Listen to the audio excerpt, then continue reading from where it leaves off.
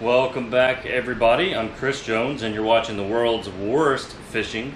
And uh, today we're going to do another Fish Cave uh, plastics episode.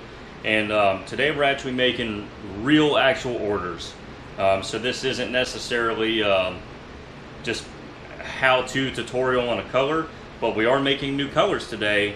And uh, I had a, uh, a really cool custom order come in this week and I have to match, let's see, I have to match a Gary Yamamoto color called Purple with Emerald Flake. Um, it's a fairly simple color, but I think it's going to turn out really cool. Um, the Gary Yamamoto version, as we all know, looks absolutely perfect. So I'm matching that. I'm also doing a Strike King color called KVD Magic. It's like a really brown green pumpkin with little bitty tiny blue flake in it, and uh, and I think that's going to look really good. I have to make that in the boom shad. Uh, I also have to make trick worms in the Gary Yamamoto color, and I have to do trick worms in baby bass. Um, so we're going to be doing two new color matches today. I've never made either one of those, not the uh, Yamamoto or the Strike King. Um, I've done baby bass recently, obviously. That's like my most recent plastic video. And uh, so we're going to be doing a couple new things, and, uh, and I think it's going to be cool to see how they turn out. So we're going to go ahead and jump in. Before we do, like and subscribe. Your support helps keep the channel going. So we've already been a little busy today. We've had, this is two small um, regular orders. So these are all colors that I offer kind of standard on my website. We have some um, watermelon red Senkos, some black with blue flake craws, uh, some um, obviously just flat yellow trick worms. I call that color mac and cheese. Junebug Florida frogs. We have watermelon seed flukes, and then some more um, watermelon red Senkos. So uh, we've already kind of been at it today for a while, and now we're going to get started on the custom order. Okay, so we're going to start with this Strike King color, and um, so the, the I was actually wrong about the Strike King color at first. It's actually a laminate. It I, I looked at a few pictures of it and they were very misleading. Um, uh, a lot of pictures of it only seem to show the top, which is the green pumpkin with the blue, but the bottom is actually kind of a white creamy pearl. So I had already actually mixed up the top color and then realized, whoops, it's actually laminate, uh, so I need a pearl bottom. So I've measured out one cup of plastisol and uh, just like any other pearl color that we do we're gonna go ahead and get us a quarter teaspoon white pearl and um, I've actually got the top half uh, cooking in the microwave again because uh, I like I said I got it ready I cooked it up and I was like oops so party foul on that but we're gonna go ahead and get this uh, get this pearl side ready and uh, again, with any sort of powder, you want to really do a good job stirring. We're also going to add heat stabilizer. There we go. And we should be able to get this color up and running soon. So I'm just going to stir this a little bit more. And I think that one is ready for the vacuum chamber. Alright, so I've got our pearl bottom half in the vacuum chamber. Uh, it needs to reach 30, and um, I get a lot of questions about this and where I buy it and what size it is. This is a three gallon Brovac uh, vacuum chamber. You can buy a pump at any hardware store like Harbor Freight Tools has those. Um, this, however, I bought as a kit from like some motorcycle, like a motorcycle parts website. Uh, so just get online and search around if you're interested in that. Because um, there's really not like a, a company, so to speak, that you can go to like their website and buy them. Alright, so again, one measuring cup of plastisol. Uh, I do that for about three minutes and it usually comes out alright. This is the top half sitting there. You can see the uh, blue sparkle in it. So we're to go ahead and let that cook and then we're going to go ahead and combine the two colors and see what we get.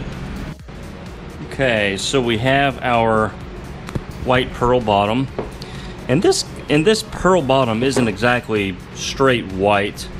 Um, now, once you laminate it with the other color, it will kind of darken up. Um, so I think we're okay to leave it um, just natural white. You know what? Just for kicks, we're gonna do just one drop of brown, just to kind of make it. It, it just it looks slightly creamy. Um, in the pictures, just the color looks a little off white, pretty much just like that. So I think that might actually turn out. That is just Carolina pumpkin, which is a fancy word for brown.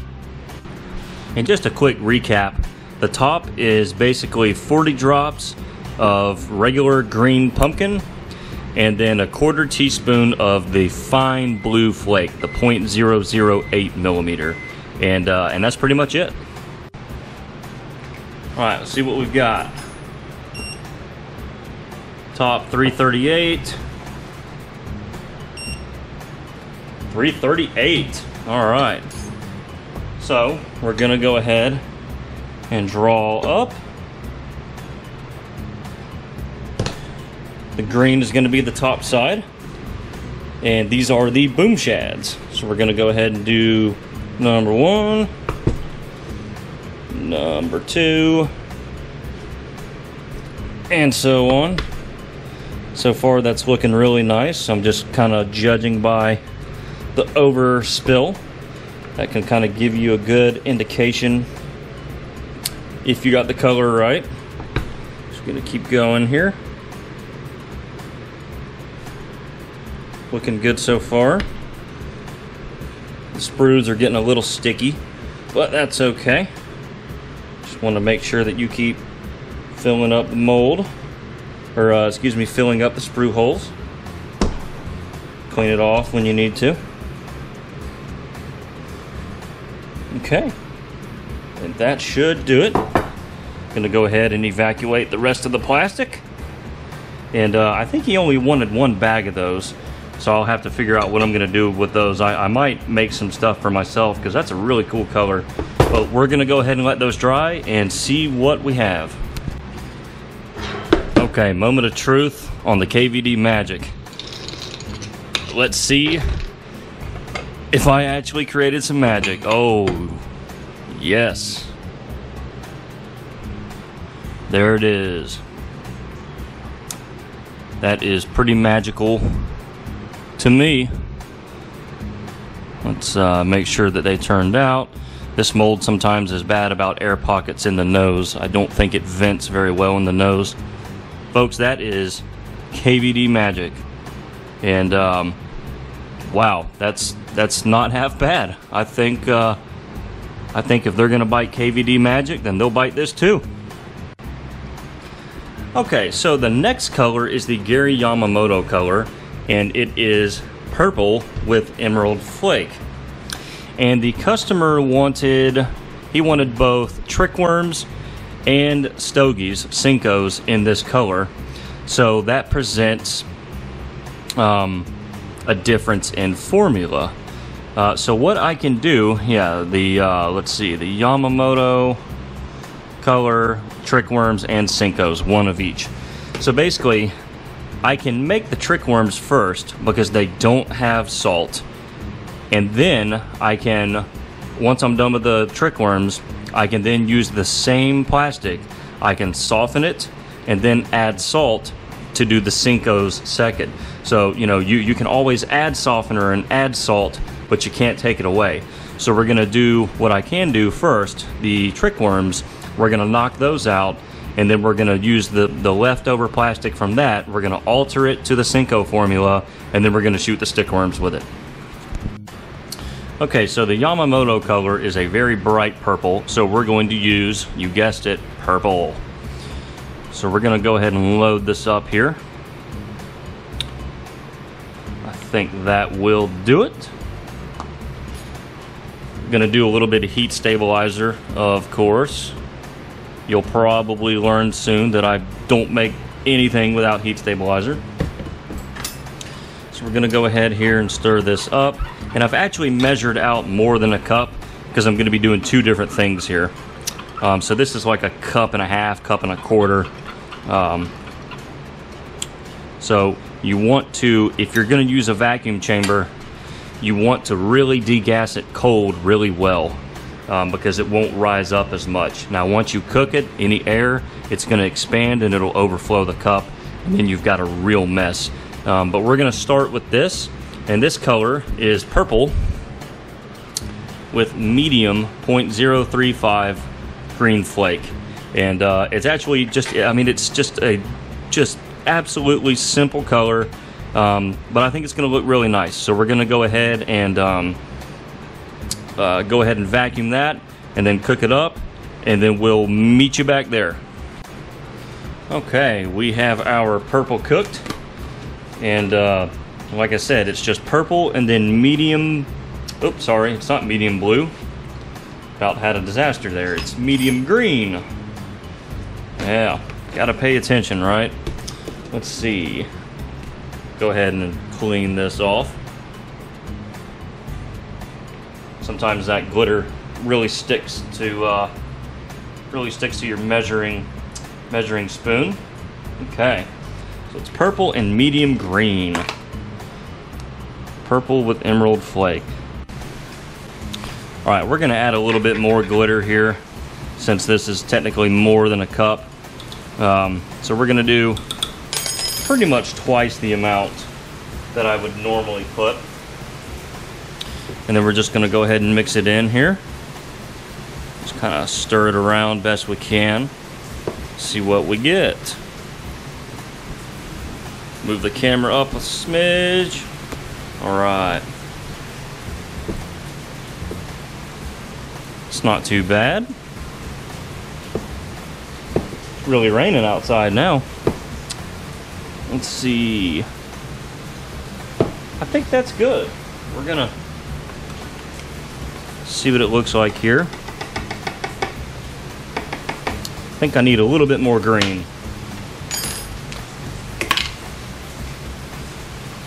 Do another scoop there. So hopefully three times the charm. It's raining cats and dogs today. I think that looks pretty good. We're gonna go ahead and draw up here and do our trick worms. I call it the savvy worm. Some people call it the trick worm. Some people call it a sling blade. Some people call it a Kaiser blade.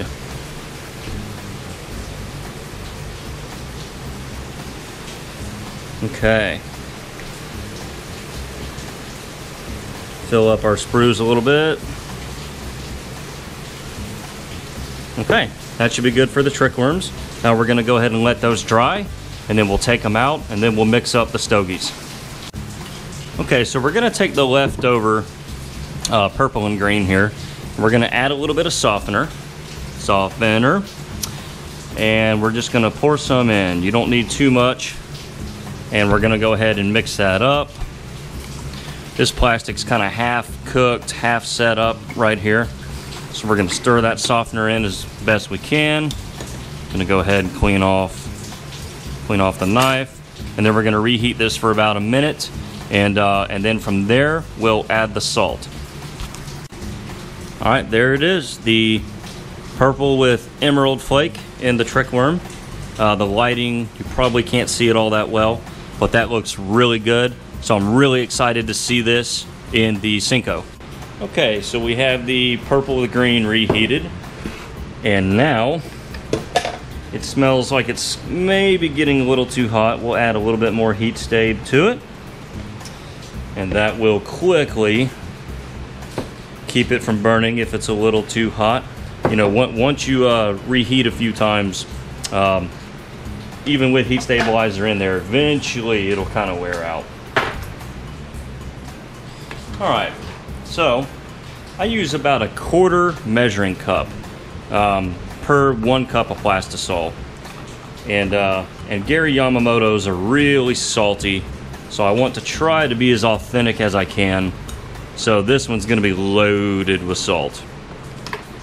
So that's a full, um, that's a full portion of salt for what's ultimately a little bit less than a cup of plastic because you know we already used some on those trick worms. But that's it, and I think we are ready to roll. So we're gonna go ahead and stir this again, make sure there's no clumping. And it's time to make some Senkos. Now I probably won't get all four molds from this one injector. I think I can get about three, but that's all I need. Only need about, well, I only need eight of them, but I wanted to maybe have a few extras for myself, who knows. Okay, so that's looking okay. Gonna go ahead and top off. And I think we're good.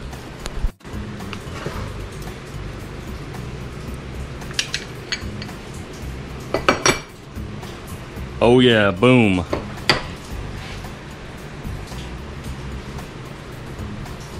That looks fantastic in a Senko, as it should. It's a Gary Yamamoto color, and they are pretty much the worldwide leader in Senkos. I think that is very well matched. And um, wow, you know, just the simplest colors are the best. But uh, but that's it. I think that turned out really good. We're gonna go ahead and get the other ones out of the mold, and um, and then I still have to do some baby bass trick worms. So I'm probably just gonna shoot those off camera because uh, I've already done those, and, uh, and then we'll show you the final results.